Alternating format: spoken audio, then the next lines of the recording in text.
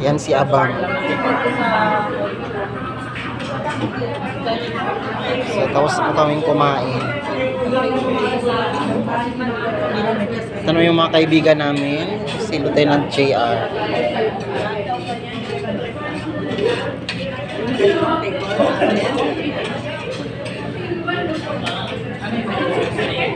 Madilim. Madilim.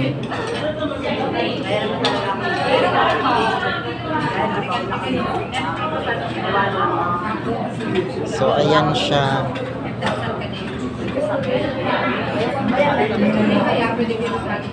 Si Clarice. Laging maligaya.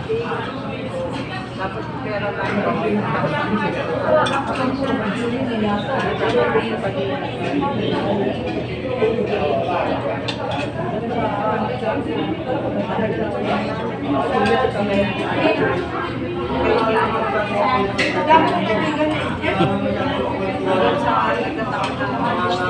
dito po kami sa Neats Restaurant.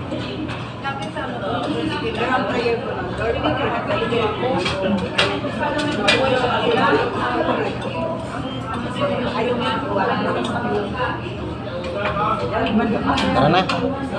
Si Arako.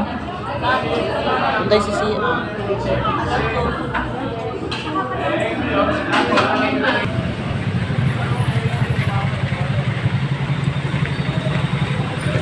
Pauwi na kami.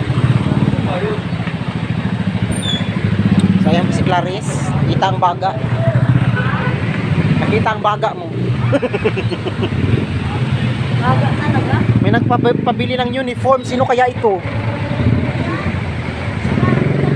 Baka si mama mo ito. Ayan, kami pauwi na ng DHQ, ay THQ.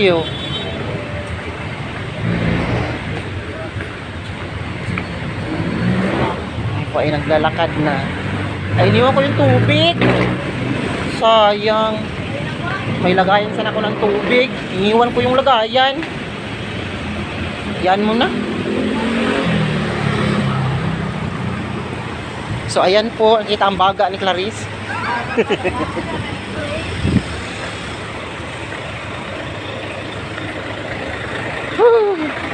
Dito na po kami. Hanggang dito na lang. At kami ay alis na.